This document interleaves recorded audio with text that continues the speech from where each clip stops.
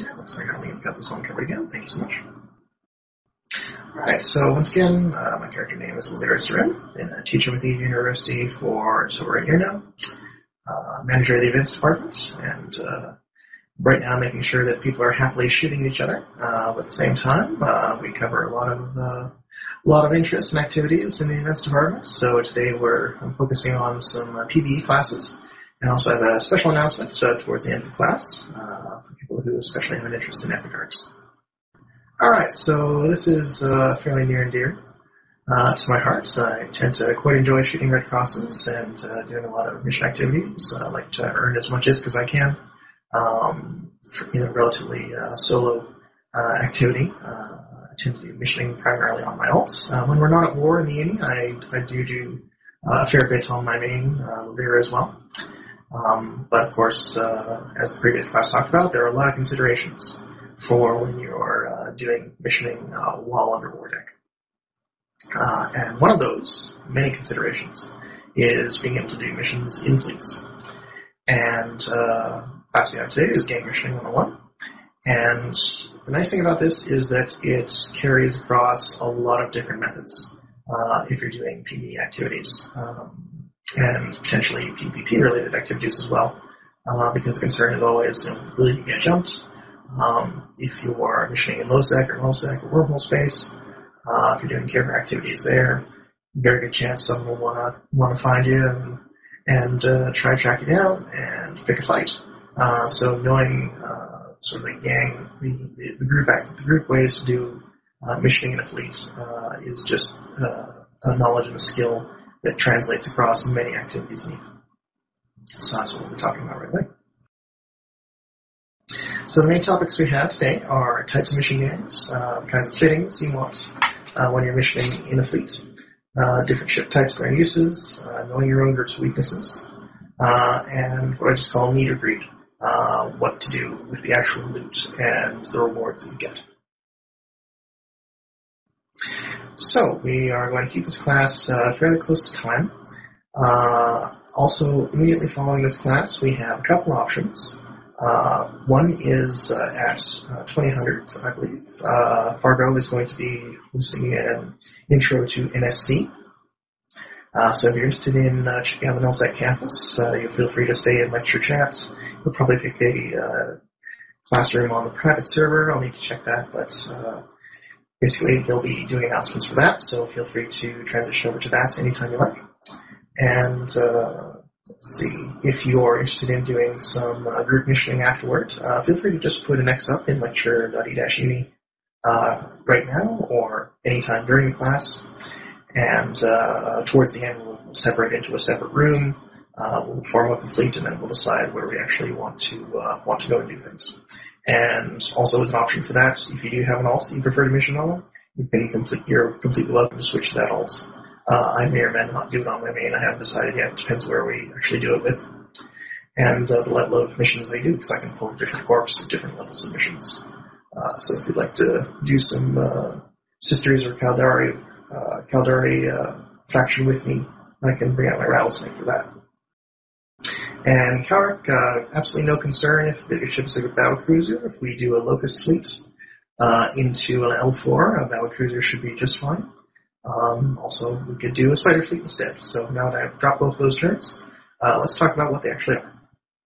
Alright, just answer some questions in chat there. Alright, so basic definition of uh, spider fleet is that uh, a group of up to 10, uh, we'll talk about why it's 10 in a second, a group of up to 10 players can all pull missions individually and complete them individually and share those standings. So it's called a spider because every person in the fleet spiders out and does their own thing. Um, game mechanics dictate that only a fleet of up to 10 can share the rewards. If it's larger than 10, uh, it won't be split quite the same way. I think it then splits based on squad. I haven't actually tested that. Should ask Seamus for details. But um, what that means is that even though the rewards are being split, um, and by rewards we're talking about uh, on-grid bounties, we're talking about uh, agent LP and ISK rewards, even though those are split uh, up to 10 ways uh, evenly, um, what that means is that more missions are still getting completed per hour. So in the same amount of time, you can still gain more, potentially, um, if you're all doing the same level of mission, because you'll all be pulling different kinds of missions with different rewards. So overall, it is uh, an advantageous way to be doing mission. And the contrast to that is what's called a locust fleet. And a locust fleet is everyone getting together and attacking the same mission in order to, in order to complete it uh, as quickly as possible. Uh, so, for example, if you're a dual boxer, if you bring in two of your characters and two battleships to attack a mission, that is essentially a very small locust fleet. Uh, you're basically dual boxing to finish faster, to manage aggro, and to be able to uh, complete the missions as quickly as possible. Alright, so I'm going to be uh, prompting for questions every so often. So any questions uh, regarding spidering versus locust fleets?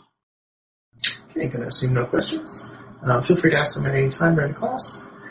Uh, Alright, so we're going to talk about uh, types of mission games. So again, you know, a lot of people think of Eve, especially starting out, as fairly solo activity. Um, but you know, just like any other MMO, it's possible to pick roles and you know, start to start to do missions uh, fairly effectively in a group. Uh, so if you are doing a small gang mission, um, we'll be focusing mainly on the concept of locust fleets uh, for the rest of the class here. It's a matter of you know deciding those rules. So do you have a tank? Do you have a damage dealer? Do you have a healer? Uh, do you bring logi support? And uh, all these are really good options for completing missions as quickly as possible, um, having as little risk as possible, and potentially uh, doing it in ships that are smaller than normal. Uh, so, for example, if you have a fleet of five people who can fly cruisers, battle cruisers, uh, maybe you can start taking on L4s uh, as a group. So that's a way to sort of speed things up, um, to reduce the amount of uh, that's necessary to get into higher level missions, and also to maintain maneuverability if you're concerned, especially about, uh, for example, in wormhole space, like you're not flying, you know, these enormous ships uh, from a C2 to a C3. Um, you're not taking battleships in, you're taking smaller, more agile uh, ships that can uh, that can sustain themselves and, uh, and, and survive and complete things as fast as possible. So uh, this is all very second nature to to wormhole games, especially. another bonus to having either dual boxing or multiple characters in a fleet is uh, having dedicated salvager on field. Um, so basically having someone that's either just falling behind you or is within range of logi support and being able to do salvaging if you're if you have a dedicated Noctis or someone in a in a heavily tanked uh, destroyer that's uh, doing salvaging while they're just right behind you in the mission pockets. Um, that's a great way for, for them to make ISK. Uh, there are a lot of people who are dedicated to a salvaging career in uni. They like it. They like saving up for Noctis. They like having a chance to bring it out and use it. Um, so there's a lot of good ways to sort of split up uh, roles and things and allow everybody to sort of help out and uh, and share the rewards. Uh, but numbers matter. You know, do you have enough people uh, to be able to accomplish what you want? Do you have too many people for who wants to split the reward? Um, is the salvager able to pull uh, the missions that you want to run? Uh, because you're in a fleet, because you're potentially sharing the rewards, um, everybody also needs to be aware of what those rewards are going to be. Does everyone want the same faction standings? Uh, you need to be really sure about that because faction standings can screw things up for people. So from a courtesy point of view, uh, you need to be absolutely sure that everyone is happy running the same missions that you are. Um, you know, and there there are risks to that as well. Honestly, like if someone, if there's if you happen to fleet up with a spy in the uni, if someone wants to ruin your day, they can potentially pull a uh, pull a mission that is uh, from one of the uh, uh the jump clone uh, agents. Um, you know, it is it is theoretically possible for someone to share a reward with you that will give you standings and will force you to be kicked out of the uni or force you to grind up those standings.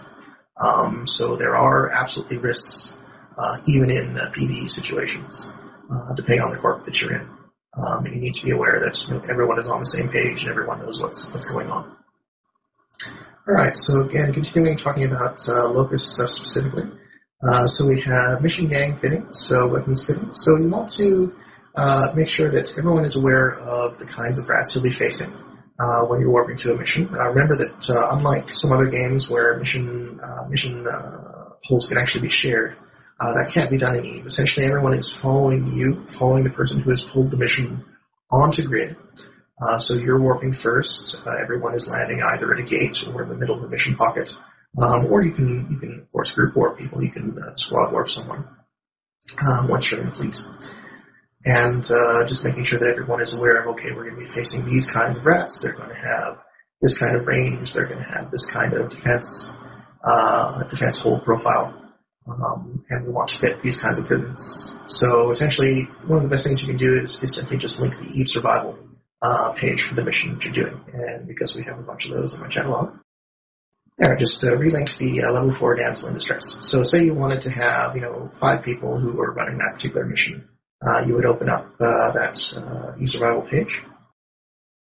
And then everybody could just review it and see, okay, based on the fact that we're doing this, um, okay, it's going to have these kinds of uh, these kinds of resist profiles we need to protect against. This kind of damage that is the best to deal.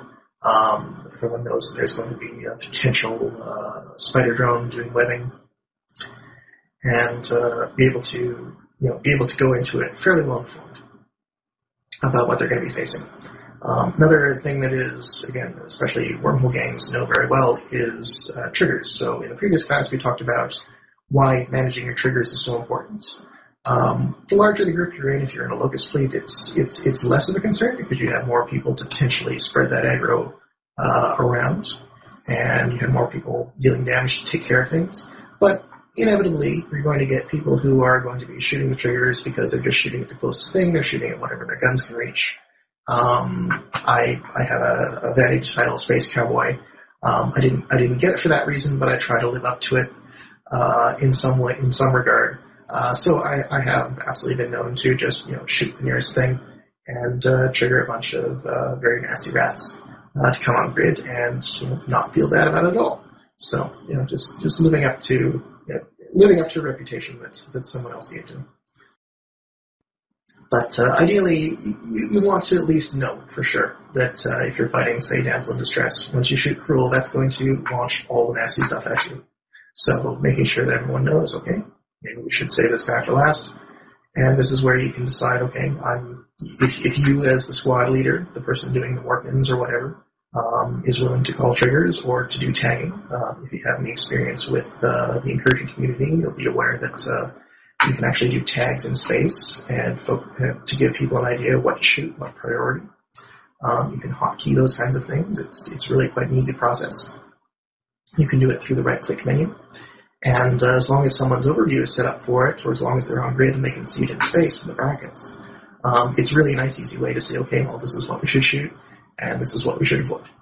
And um, the more complicated fleets you get into, it, it, it's a good way to prepare for incursions, to prepare for sort of very orderly uh, focus of targets. And it's something that's a little bit different from PvP engagements, where you're basically you have a broadcast of targets, and that's your primary um, but in other situations like PVE, they're actually concentrating on, okay, based on range, what do I look at? Um, and uh, based on how aggro is shifting, how do we deal with that? Uh, counter yes, sorry, e. Leroy Jenkins. I know we have a we have a couple of people who are a bit more like that. I'm I'm I'm more of a I'm more of a shoot first. Um, shoot first, ask questions later. Uh, we have more we have more people like that, but you know, basically I'll just I'll just warp in, warp to zero on somebody. I, I don't want to get into it too much, but it's fun to talk about vanity titles and how they're earned. All right, uh, all right. I'm done with uh, looking at the damsel in distress page. Back to the syllabus here. Uh, so again, back to mission gang fittings. So, you know, what kind of, deciding what kind of range you are, what's your best role. Um, again, and again, thinking about how incursion communities are structured, um, you can actually group people into different into different squads. If you only have ten people, it's pretty easy to to sort of shuffle them around and have everybody like have a role. Like if you have two damage dealers and two logi, you can you can put them in groups, and it's quite easy to uh, for people to have a sense of what they're supposed to be doing just based on role uh, if they're familiar with their own role. Uh, how do you want to tank? Well, ideally you want to do your, your, your mission specific resists. Uh, do you want to be active or passive? Again, that'll depend a great deal on the kinds of ships that you have. It's easier to be an active tanked uh, ship if your weapon uses no cap, if you're shooting missiles or projectiles. Um, it's pretty difficult for uh, most of our ships, especially uh, battleships, to do a lot of sustained damage dealing uh, if they're also armor repping. Um, so do you have Logi? Are they able to are they able to use their weapons in a different way? Do they need to fit uh, cap boosters or anything like that differently? So the fact that you have your support, just like in PvP situations, means that you can change how you fit. You're able to think about, okay, I want to deal more damage and have less tank, that kind of thing. So maybe you have a primary uh, battleship damage dealer, and he's fitted out with heat stabs, and then he has cap transfers from a couple of Augorors. You know, if you have those situations, it's really nice and uh, easy to say, okay, we're gonna we're gonna bash through these out and you know, be twice as productive as we could by ourselves. So again, this is why you know, doing doing things in a group is is generally going to be more effective than doing it by yourself. But the time you the time you save in actually doing the mission may be up by the time in planning it. So you also have to enjoy the planning and the group process. Alright, so ship types and their uses. So fly for your mission level. Um, so in case you're not aware, um, the general structure for missions is level 1 is for frigates and destroyers, level 2 is for cruisers, level 3 is for battle cruisers, and level 4 is for battleships. And level 5, if you fly those, is specifically for fleets or for capital ships.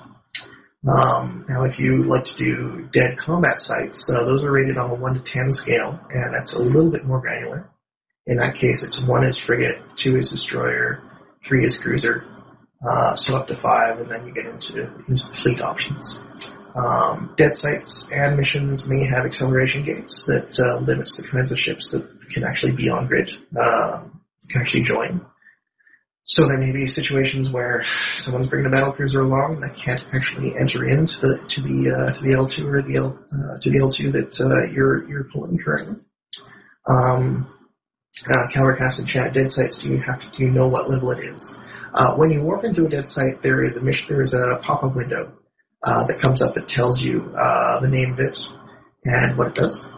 Um, I I'm, I'm, drawing a blank whether or not there's actually the number that shows up in that message box, but there are a couple of very good wiki pages on Uniwiki and Evelopedia uh, that just list very, very quickly uh, if it's named this, it's going to be this level. So it's it's a very trivial matter to actually pick out which one you're doing. Um, Eve Survival, I find, isn't as good a source as far as DED missions. Uh, it has a, a fair bit of holes as far as the number of missions that it covers in that way. Uh, it's really more focused on uh, agents and uh, wormhole sites. But um, Evelopedia in particular does have a pretty comprehensive uh, list of DED sites and, and where you'll find them. Hope that answers your question. Uh, let's see here. Um, yeah, so so deciding whether or not larger ships will be an, adv- an advantage, uh, depending on if they can get through the gates. If someone else, like I say, if they're pulling an L2 or an L3, um, will that battleship be able to come? Uh, is a faction ship really better? Uh, it's more expensive. I mean, if you know how to fly a faction uh, ship at, at the same hull level, um, you know, chances are if you know how to do it, it will be better. But again, is it is it providing a, a, an advantage or is it providing more of a target for the fleet? Um, especially if you're in low sec. You know, you, you really want to be aware of how much attention you're drawing to yourself. Um, because that will determine the, the kinds of people that are willing to aggress you. Uh, so playing to your strengths, uh, you know, slow ships uh, will be a problem if you if you are working in mixed fleets. You're locked into the lowest warp speed if you're doing squad warps, um, and if you're warping separately, then you're potentially opening people up to be ganked separately, especially if they're in a in a slower, uh, shiny battleship. And fast ships are really sort of the, the power that you have. Um, you don't need to worry about uh, tackle frigates necessarily when you're doing when you're doing missions in high sec. Um, if you're thinking about, you know, do you want to have, um, because you're doing it as a group, do you want to have scram? Do you want to have warp tackle fitted? Uh, if, if a war target jumps into your group, and this relates to the last class as well, um, if you're if you're planning on doing missioning and hoping to bait out war targets, like you you want to have a way to tackle them. Like you you, you don't need that at all for missioning, so you're sacrificing a mid slot, but maybe you're choosing you're just saying, okay, let's do a shield fleet, let's do a bunch of Caldari ships so we can have lots of ECM and lots of um, lots of ways to tackle people. Um, and that can be actually a lot of good fun. You're essentially baiting and waiting for things to happen. And again, this is this is how wormhole gangs operate. So this kind of this kind of philosophy will translate well if you want to join the wormhole campus and start doing things there, because you're always hoping, you know, that there will be the chance for a fight as well while you're trying to make ISK. And being aware of the group's weaknesses. Um, as the fleet boss, you are able to uh, see the composition of your ship. You're able to see sort of what uh, leadership skills people have, whether or not they're able to pass boosts properly. Uh, because you only have 10 people in your fleet when you're doing a mission in order to share the rewards properly, um, you're only concerned about single squad. So as long as one of you has leadership five, um, you don't have to be the, you can, you can be the boss and not the squad leader. So just as long as someone has leadership uh, five and is able to pass it to everyone in the squad, that's the important thing. Uh, being able to call your targets when necessary. We talked about tagging versus broadcasting. Um, and again, sort of filling filling the weakness weaknesses of the thing of, of your composition. So, does someone have a really slow uh, sensor lock uh, scan scan resolution? So, is is there a way for if you have a Logi frigate or something, can they do remote um, uh, a remote link in order to improve uh, how your battleship is able to either do tracking or able to do uh, target locking? Uh, because the faster they can do that, the faster they can apply damage. So you're trying to boost the weaknesses of fleet composition that you have, and even two battleships, like they can they can remote uh, boost each other. Um, and depending on the composition, uh, battleships can remote rep each other. Like you can set up a Dominix fleet of two or three uh, in order to what they, they call spider domins. So you've got these three Dominixes that are all sort of working together and launching the drones, and they're basically tinker fit to transfer cap to each other, repair each other, boost each other, um, and it's really, really effective, especially in, in low sec and null sec, I'm sure. Uh, null alliances do these kinds of things quite a bit. It's where some fits I have are from. Uh, so, so being able to sort of share those boosts and not being so dependent on uh, local uh, modules that are only affecting you and they're affecting you to a lesser degree than the remote modules are designed to do because of course the game is designed to work better when multiple people are playing and things are being applied remotely. As you have different ships, for example, if you're flying a big slow drone boat you have, you know, fast active, uh, uh, say like a Tech 3 cruiser or a heavy assault cruiser, um, or anything that's basically able to fly around, you can do drone assists. So they can be fighting with a swarm of 15, 20 drones, uh, flying around them uh, all applying damage to their targets. So again, that's another very quick way to rip through uh, certain missions, and again, you'll see that used constantly in the incursion medium. Uh, because being able to assist your drones to another player uh, transfers the control of the drone to them to what they're aggressing.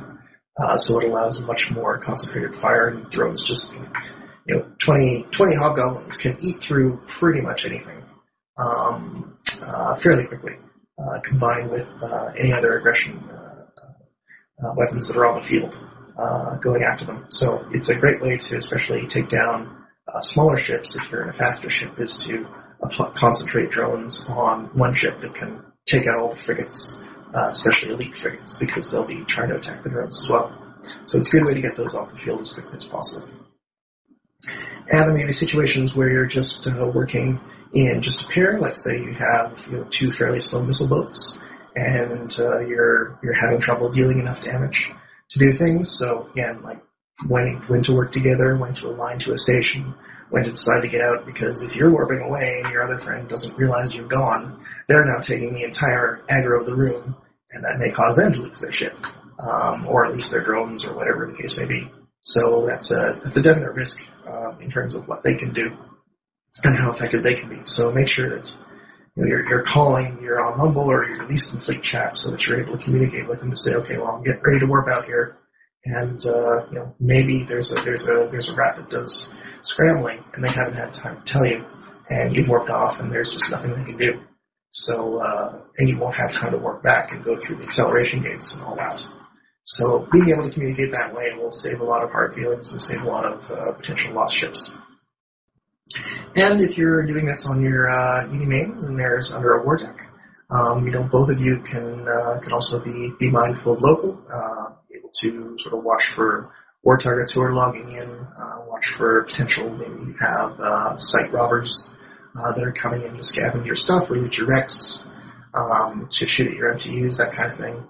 And maybe your friend decides to you know, shoot somebody who's gone flashy and done and uh, attacked your MTU, uh, mobile tracking unit. And now they're flashy, and then all their friends warp in, and you have the decision to say, okay, well, I can either try and fight him or I can lose my ship. Um, so again, just just making sure that someone else isn't making necessarily brash decisions, and uh, try to have someone that's that's in control of the fleet uh, and deciding uh, what what to do, because you know a lot of people will just sort of react. Uh, if they if they see something they think they can shoot, they'll just do it without uh, necessarily thinking through all the consequences, uh, and that just comes with experience. but maybe you know, maybe you, you have an idea to, to bait people out as well. So it's it, it's fun, and, and, in case of uh, unexpected PvP, uh, being able to do missions in a group does open up other opportunities. And again, much more so in in uh, lower security and null security space. And one last important things is, like I said, sort of need or greed.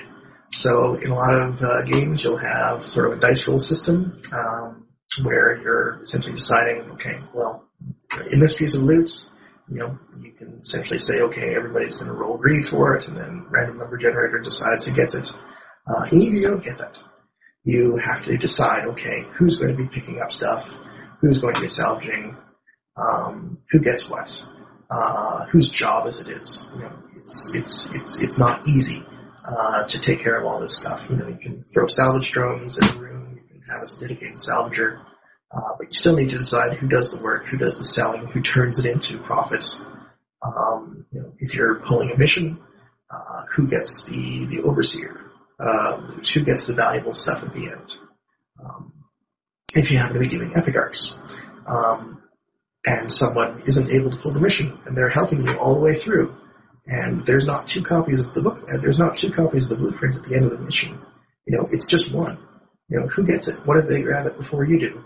Like all these things are, are, are a little bit unique to Eve um, compared to other ones where you have a nice handy random number generator saying, okay, well, this person got the highest number, so they get it.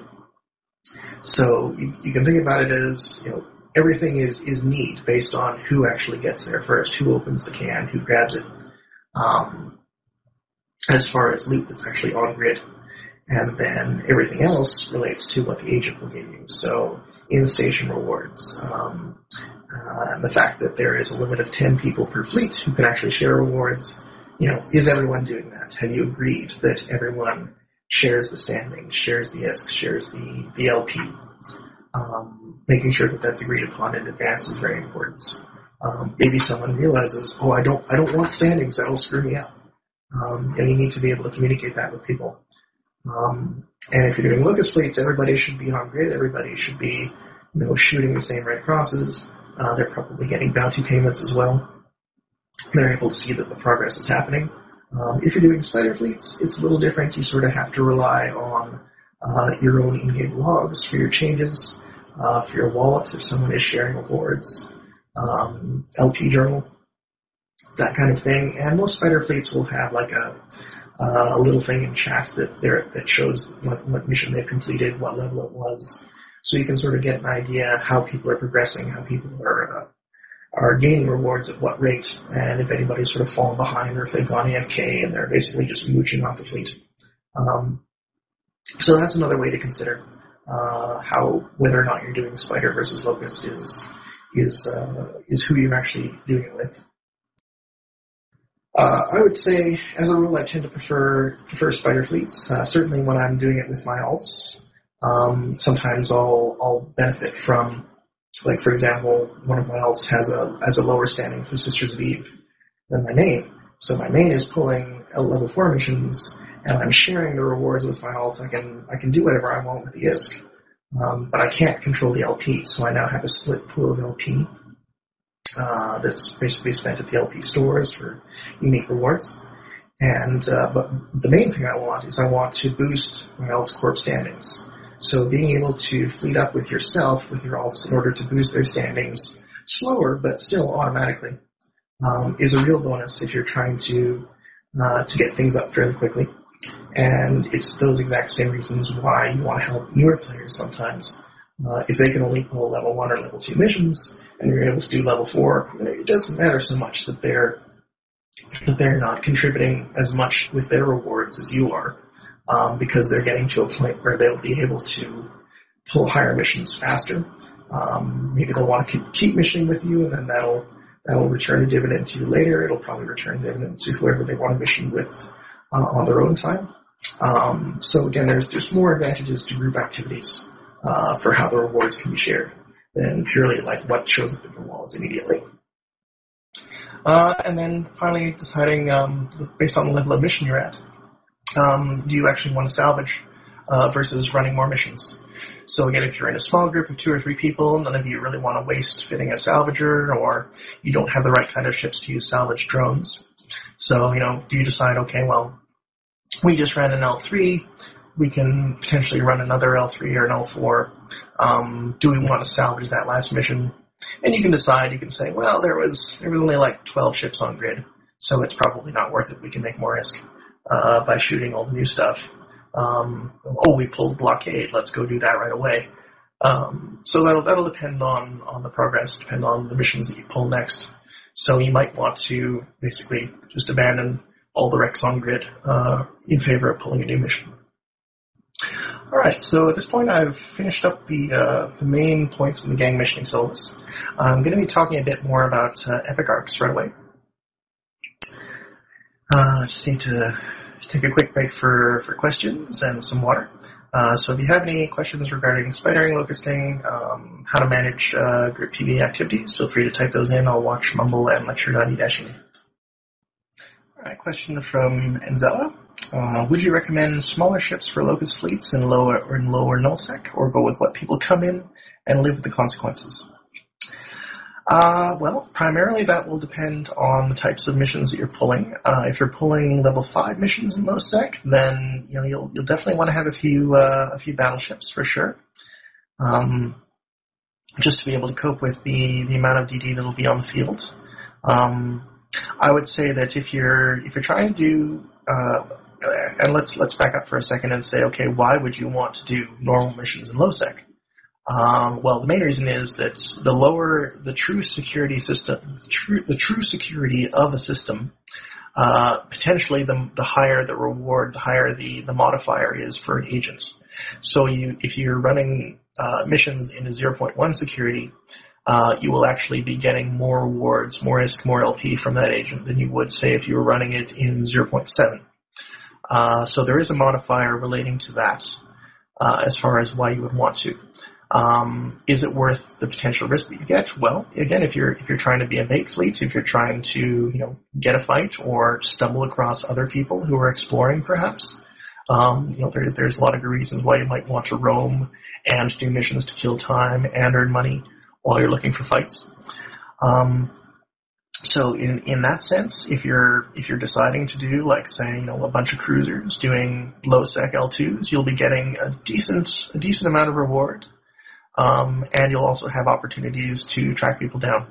Um, probably people who want to do that regularly are probably in another corp and doing faction warfare because it's kind of the same process and faction warfare missions are also uh, you know are, are are generated in these kinds of ways. So anyone who seriously wants to do that is probably getting into faction warfare. But um, you know it, it is it, you do have the choice as well. Um, I would say the only reason I would want to do uh, low sec is to do L4s for extra rewards, and again to do it in a gang environment with the potential for PvP. And when you get into L5s, uh, that's just you know a much bigger challenge, and you're hoping to pull together a much bigger fleet. Um, you know, same thing with uh, low sec incursions. Like most communities don't run incursions in low sec, but they have to if they want the particular rewards like the revenant drops uh, Revenant uh, super carrier drops. So again, it's it's it's risk reward, and you have to do a lot of planning and make a lot of decisions about how you want to fit your ships, and basically plan plan for it to be a PvP fleet, um, even though you're running missions. And again, this is this is how uh, how wormhole uh, dwellers tend to tend to plan out their things. Uh, question from Pink. What are Federation Navy midshipman insignia used for for missions? Let's open that up. Alright, so this is an Empire insignia drop. Uh, the particular one that he linked is for Federation Navy. Uh, these will exist for all of the factions, the four factions, um, the Empire factions, rather. Uh, so essentially, what these are are dog tags from pilots. Um, so from a lore point of view, you've killed a pilot that flies for a navy. Um, you've looted their wreck, and there's no corpse, of course, but there are these dog tags. So these are essentially records that you've killed navy pilots. So it's a very good, uh, it's a very good uh, thing to keep in mind that if you're getting these, you're also losing security status. Whatever you shot, they don't like you anymore. Um, sorry, not security status, faction standing. So because you've been uh, you've been shooting a member of the Navy, uh, that faction likes you less. So this is why you need to choose when you accept a mission. Do you want to accept it? Do you want to be shooting this faction and reduce your standings with them? Uh, so what do you do with them? Well, you can sell them on the market, uh, or you can take them in, into LP stores. Uh, they're essentially part of uh, item exchange contracts uh, for LP stores. Um, and the description says that these may prove valuable if handed into the proper organization. Um, so basically, you recover these and you hand them back in, and they're basically part of the ingredients list to get certain other items. Uh, let me see if I can find an example. Uh, there are also Cosmos missions and data centers that are related. Um, I'm not sure if they use all the same tags though. I think those may use a different kind. Okay, so in chat I've linked a Federation Navy 10 meganewton afterburner blueprint. Um, in order to purchase this blueprint, uh, which won't exist anywhere other than an LP store, or potentially on contracts, I have to hand in 95 Caldari Navy, uh, let's see, Commodore? Yeah, so I have to hand in, so I have to hand in almost 250 dog tags of these, uh, combined of uh, at the Commodore level in order to get that and spend 36,000 LP and spend 14 million ISK. Um, so essentially this is saying that in order to get a Gallente item, I have to prove that I've killed a lot of Caldari officers. So again, this is why a lot of people purchase faction stuff from the market rather than getting it themselves. It's because you effectively have to destroy your standings with one navy in order to get the rewards from a different navy. So hopefully that's a thorough answer to the question. All right, and we are now down to about 10 minutes before the next uh, class is scheduled to start. Uh, should be a intro to the Nullsec campus. Uh, Fargo will be doing it. Um, probably right on, well, right basically as this class ends, um, we'll, we'll be staying in this classroom, but um, uh, we might, I'm not even sure if he's using the lecture. Uh, basically, if, if you want to go off and do the NSC thing, feel free. Um, anyone who remains, if you have any other questions, uh, will also be able to form up a missioning fleet after that. I'll just mention that now. Um, so feel free to do whatever you like. And I just have a little bit more to talk about for Epic Arc missions, and then we'll be all done. Okay, I've dropped links in the Mumble and lecture.e-uni uh, for a wiki page.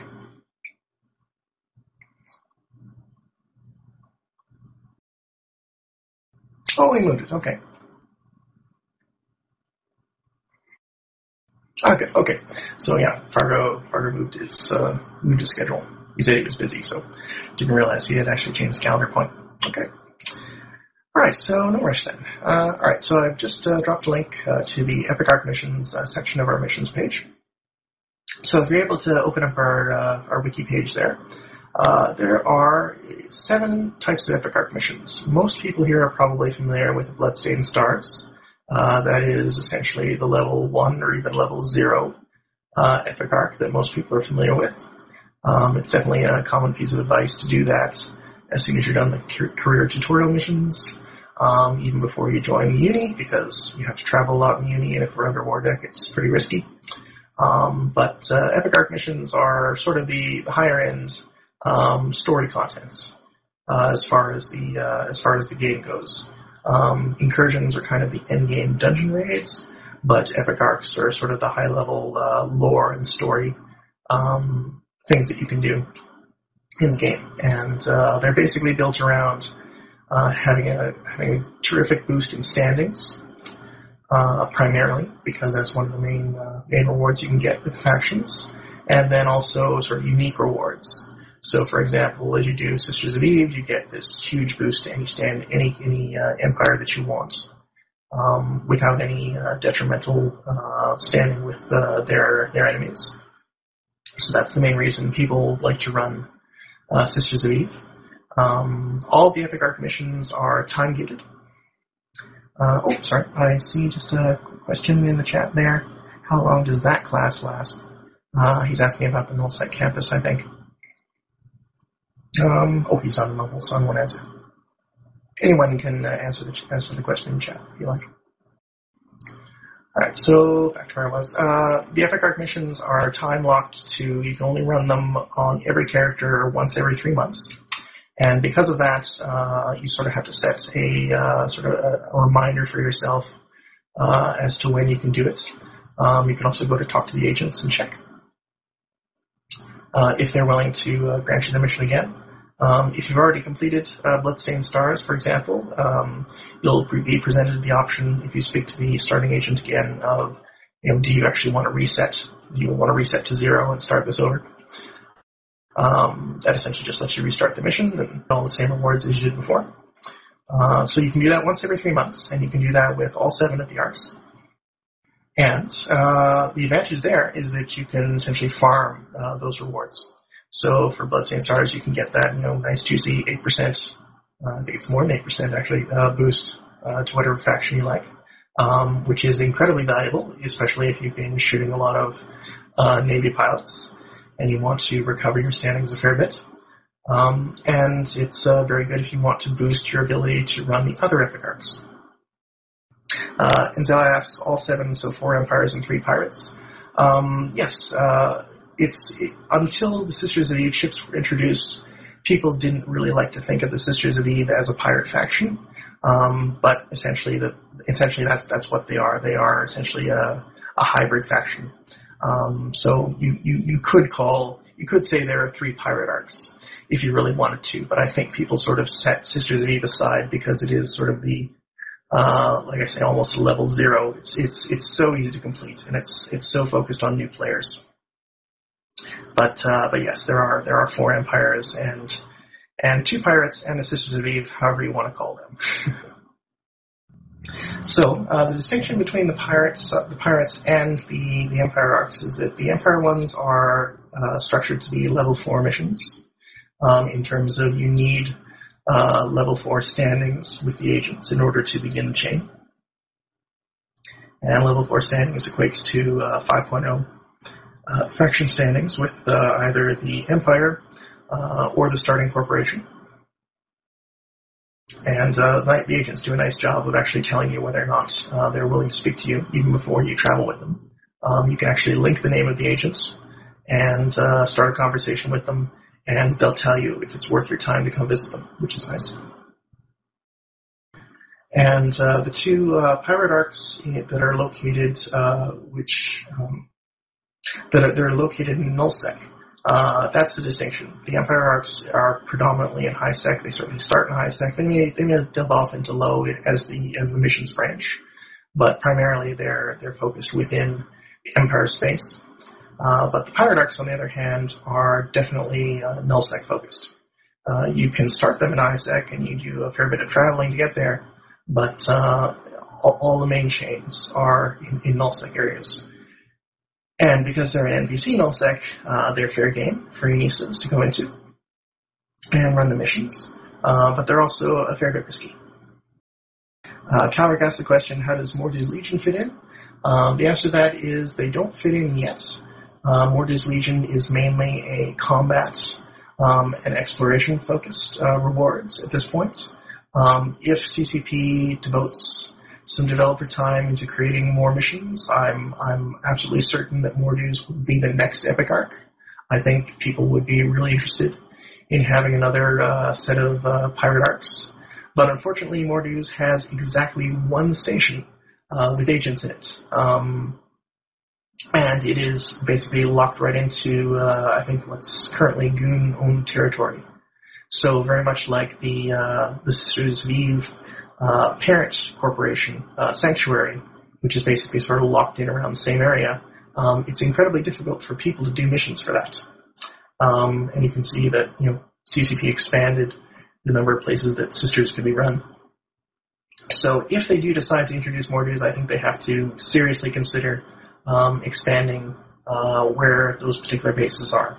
So because there are a whole lot of uh, debates and discussion going on into what to do with NPC nullsec, how to expand that, how to spread things around. Um, I'm thinking that they'll probably uh, set the uh, the Epic Arc stuff on the back burner until that gets sorted out. But it's an excellent question, and I would I would I would bet ISK that they will be the next Epic Arc to be added because it's just nice to have the pirate ships tied to uh, this kind of story progression as well. Right, uh, so wrapping up the uh, talk of epic arcs here. Um, one of the sorry, sorry, having my mic queued up for that. Um, one of the issues with uh, doing the epic arcs is that you know how do you how do you decide to fit your ships? You know how do you how do you cope with uh, flying in NPC NPC nullsec, especially to do the pirate ones? And the answer is that they're structured a little differently. Uh, when you actually speak to those agents, uh, they tell you right up front, um, you know, you should probably take an interceptor. Uh, you should probably take a really small ship to actually do this. And that's a little bit misleading, but it gives you a clue that, you know, even though this is technically a level 3, you do not want to be flying a battle cruiser through nullsec. You know, they do, they do not want to see a lot of people losing those ships uh, to take care of those. And in fact, when you start flying them, um, you'll realize that, okay, some of these acceleration gates have a limit on ship size. So, okay, why is this different? And the answer is that it's designed for advanced, uh, advanced frigate and destroyer classes. So, for example, if you have an assault frigate, uh, you're in perfect shape to run the pirate arcs, which is a little bit unusual. Yeah, just like Enzel says, like it's it's basically one of the best ways to do it. Um, it is a little slower, but the enemies that you're fighting are actually fairly well balanced uh, to cope with uh, smaller Tech 2 ships. Um, Tech 1 ship probably having a fair bit of a problem because, again, you have different resist profiles in Tech 2s, so you're taking a great deal less damage, um, especially if you're, say, going against the Angels in uh, in Amarr. Um, you have boosts that are designed for that, so you're you're greatly increasing your survivability. Um, and uh, also because you're in nullsec, you want to have fairly fast and maneuverable ships, um, particularly in Curse, where the, the Angel Epic Arc mission is. Um, there's there's a lot of activity there. There's a lot of chances that uh, the gates will be bubbled, so it's it's definitely a risk. Um, mainly, I've done the uh, the Caldari, uh, the Guristas, uh, the Smash and Grab arc, and that is actually a very quiet uh, section of space. It's uh, very unlikely that depending on the time zone, of course, but there's there's a lot less activity, so it's actually a fairly good starter uh, starter experience. Um, it has slightly less rewards, but it is pretty nice to get a Gila blueprint at the end.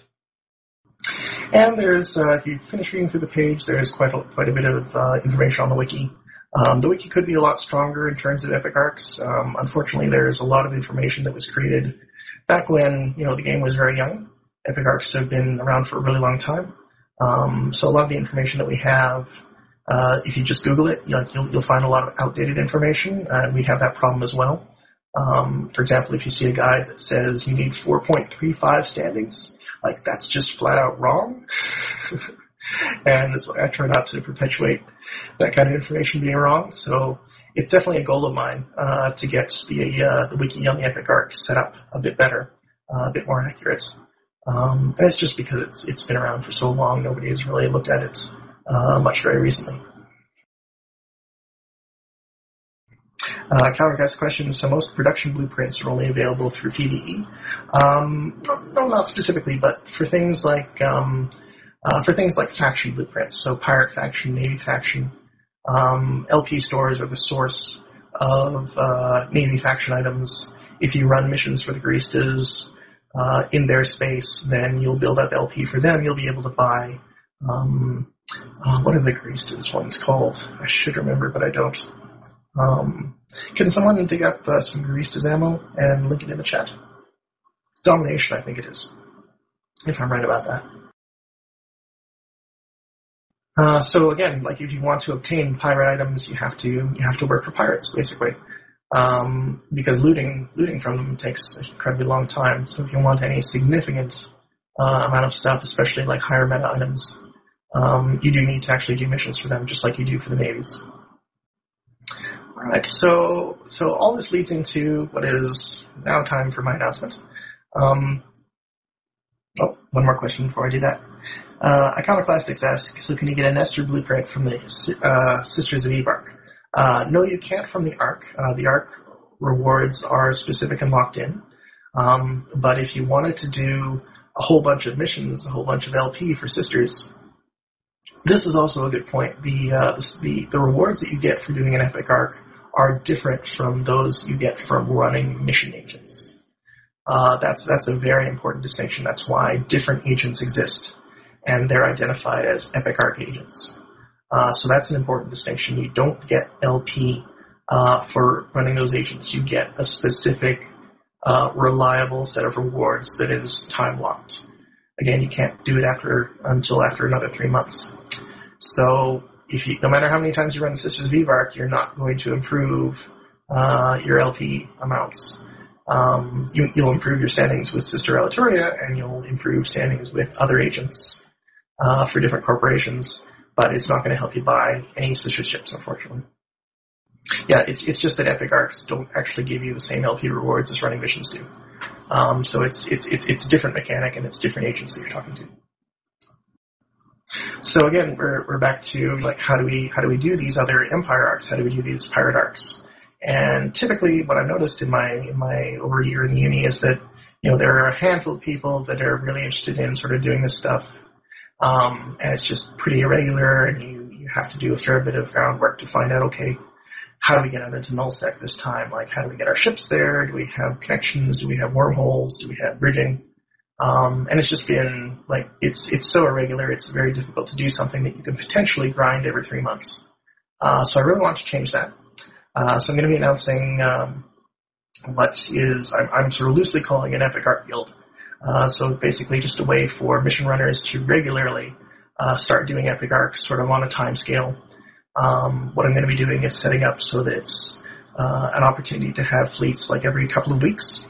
And then theoretically, if you have the standings to do an epic arc every two weeks, your timer is up after you've done seven of them. So basically every 14 weeks or so, you can just start again.